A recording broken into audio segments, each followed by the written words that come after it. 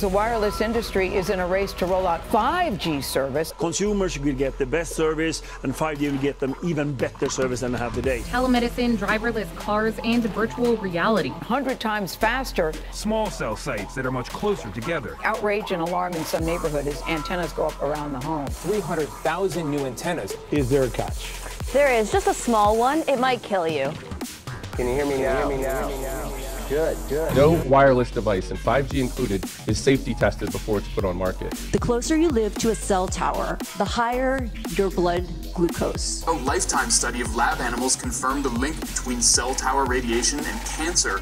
We're electromagnetic. Our cells are electromagnetic. The idea that these billions of waves per second passing through our body are not going to have an effect on us is true fantasy. They absolutely have, have an, an, effect, effect on us. Can you hear me now?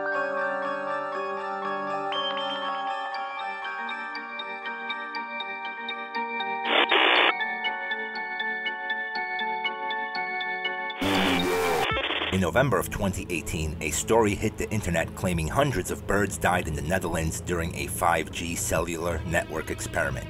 Reported by the conspiracy blog Health Nut News, the story spread quickly amongst conspiracists looking for clicks.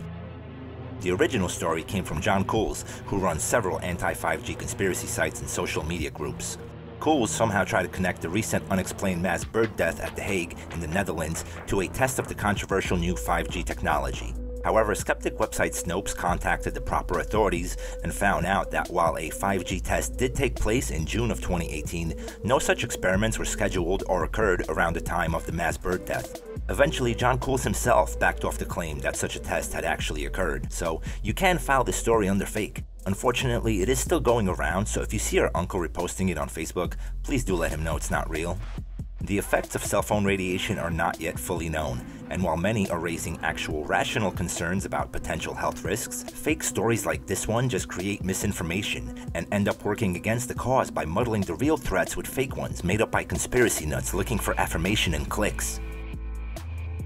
Similar sensationalist stories have popped up in the wake of 5G's planned rollout, saying the new technology will not only kill us all, but going as far as saying this is all intentional.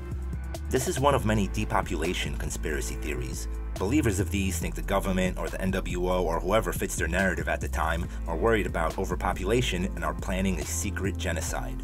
That's where things go from that's possible to that's ridiculous.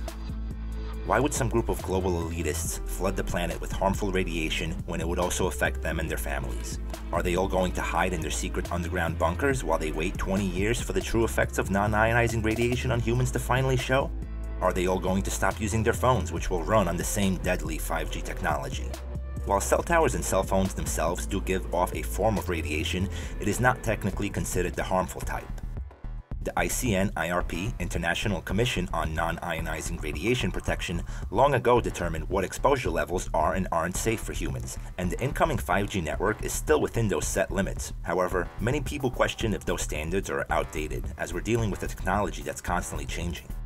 On the story of the mass bird death, the chairman of the ICNIRP, Dr. Eric van Rongen, told Snopes that the levels of exposure would be comparable to those of the current networks, and thus very low, much lower than the exposure limits.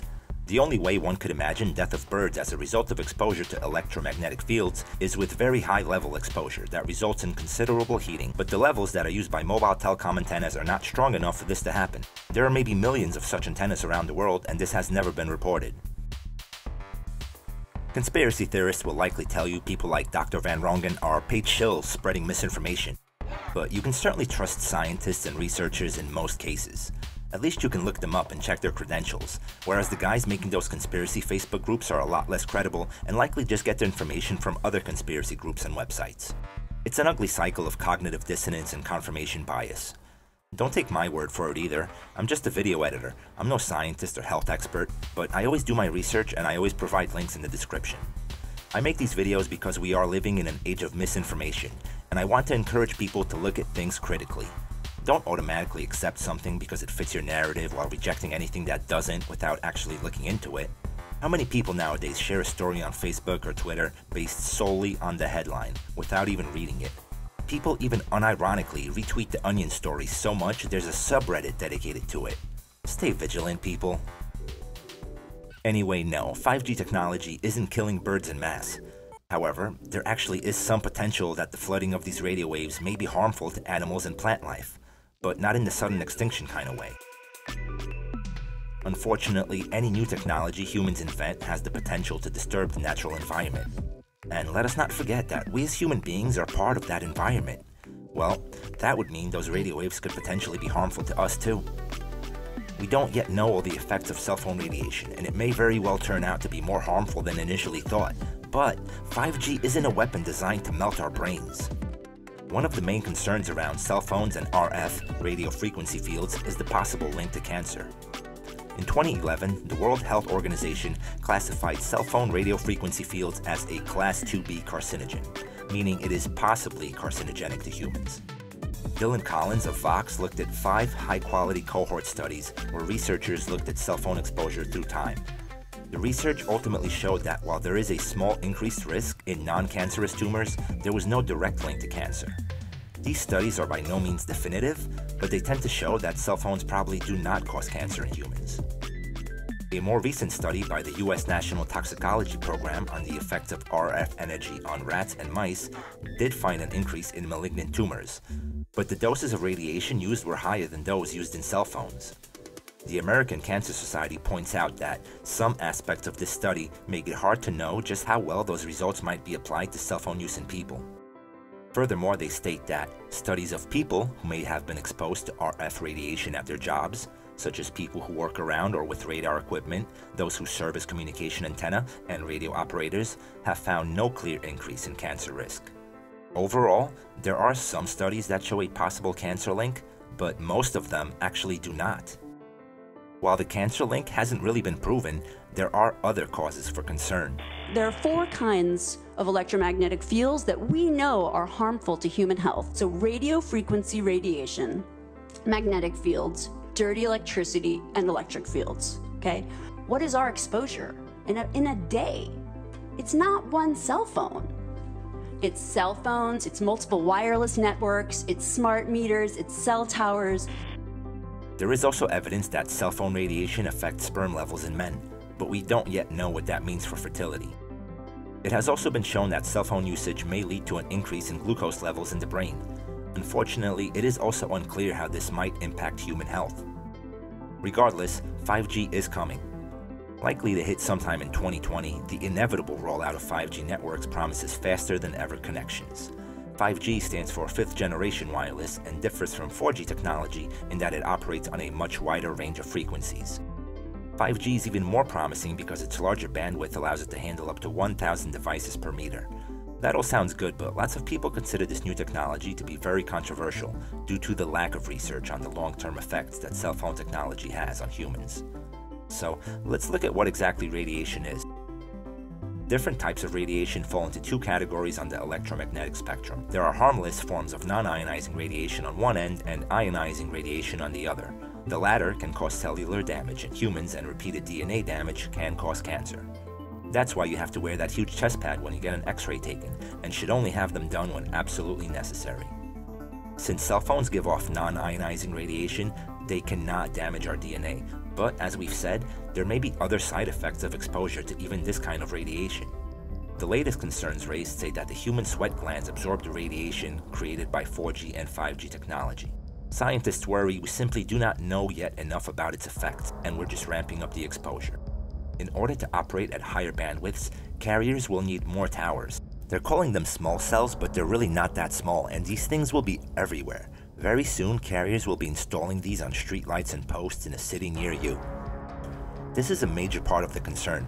Having these waves around us may not cause immediate problems, but we don't know the true long term effects. With such an increase in the number of towers, we're just constantly surrounded by this invisible radiation now, day after day. The standards for radiation in the US were set in the 90s. Perhaps it's time regulators force the big telecoms to look closer at the effects of these constantly growing and evolving technologies. Maybe they need to pump the brakes a little bit, but when all you care about is money, that won't happen.